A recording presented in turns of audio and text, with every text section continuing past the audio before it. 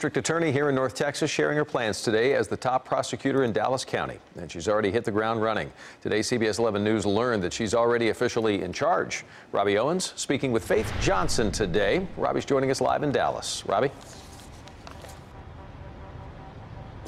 Well, I tell you, the district attorney's office here has been functioning amid chaos and or uncertainty for months. So new DA Faith Johnson says restoring morale in the office will be one of her top priorities, along with earning the trust of her community. I don't know if I've been able to feel it yet. Still, newly appointed Dallas County District Attorney Faith Johnson is ready to get to work.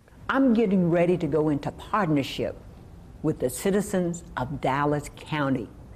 Everybody. Johnson says she will work to restore morale in the office and confidence in the community. She supports the death penalty, but will also expand the unit which works to free those wrongly convicted. People in North Dallas don't like crime. People in South Dallas don't like it either.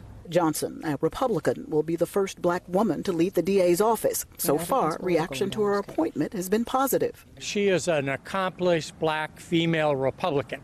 So what the governor was trying to do is find someone who would be a good DA in Dallas County, but might have a chance of holding the seat for the Republicans two years from now. Good appointment. SMU political science professor Cal Jillson says Johnson was handed the DA's job but as a Republican in a Democratic leaning county, she will have to work hard to keep it. Voters are, are more sophisticated than they often get credit for. They know that it's not just a face.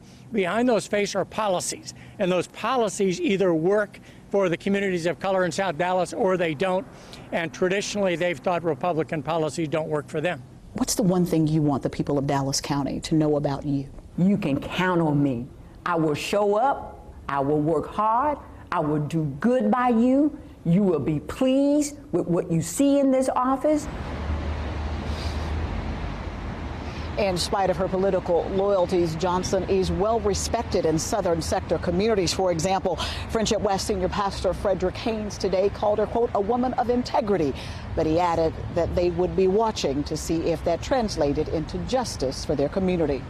Live at the Frank Crowley Courts building in Dallas, Robbie Owens, CBS 11 News. All right,